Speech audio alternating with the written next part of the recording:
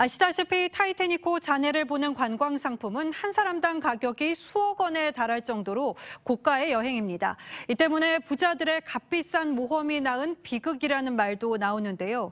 이번 사고와 111년 전 타이타닉호 침몰 사고 모두 안전 경고를 무시하면서 벌어진 사고라는 지적도 나옵니다. 이어서 황정민 기자입니다.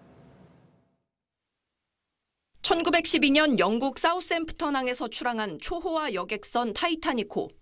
항해 나흘 만에 빙산에 부딪혀 침몰해 1,500여 명이 목숨을 잃었습니다. 비극을 영화에 담은 제임스 캐머런 감독은 이번 잠수정 사고와 타이타닉호 침몰에 기이한 유사성이 있다고 꼬집었습니다.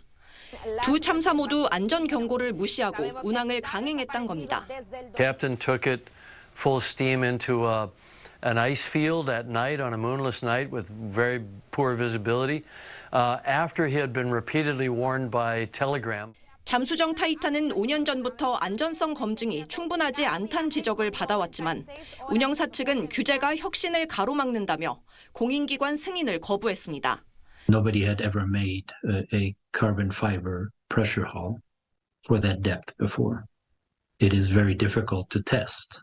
잠수정에는 타이타닉호 유물 발굴에 앞장서 미스터 타이타닉으로 불렸던 프랑스 국적의 해양 전문가 폴 앙리 나졸레 등 5명이 탑승해 있었습니다.